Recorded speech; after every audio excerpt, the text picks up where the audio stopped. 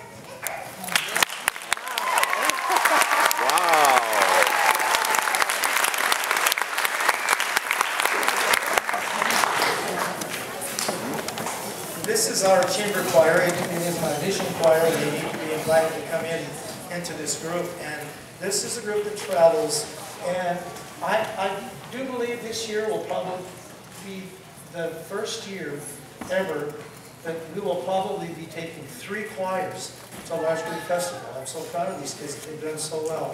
I usually don't do that. And usually, all the other schools, even Pendleton, Hermiston, and Grant, only bring one choir. It shows you the interest and the love of singing that is still within this community. So again, I'm just so proud of these, these kids. We'd like to move on with a beautiful piece entitled Kyrie.